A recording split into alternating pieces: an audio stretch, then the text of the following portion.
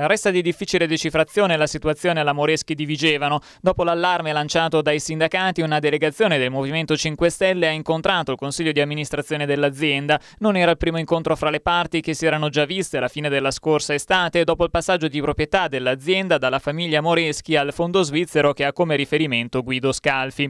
Proprio Scalfi, insieme ai consiglieri di amministrazione Paolo Cremonte e Giader Molli, ha parlato con la deputata Valentina Barzotti, il consigliere regionale Simone Verni e la consigliera consigliera comunale Silvia Baldina. La situazione che è stata tratteggiata agli esponenti pentastellati è diametralmente opposta a quella descritta dai sindacati che, denunciando lo stato di cassa integrazione a zero ore per la gran parte del personale, avevano parlato di un'azienda senza ordinativi che non aveva ancora iniziato la parziale riconversione per arrivare alla produzione per conto terzi riservata ai grandi marchi.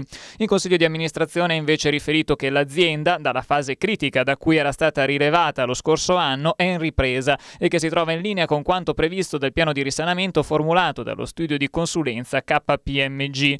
Un quadro molto diverso quindi rispetto a quello dipinto dai sindacati. Difficile comprendere a questo punto come siano effettivamente le cose. La dirigenza dell'azienda dovrebbe incontrare lunedì il sindaco Andrea Ceffa. Non è ancora stato fissato un incontro con i vertici provinciali e dei sindacati confederali, anche se, secondo alcune indiscrezioni, nei giorni scorsi ci sarebbero stati dei contatti tra la dirigenza e una rappresentanza interna all'azienda. 감사합니다.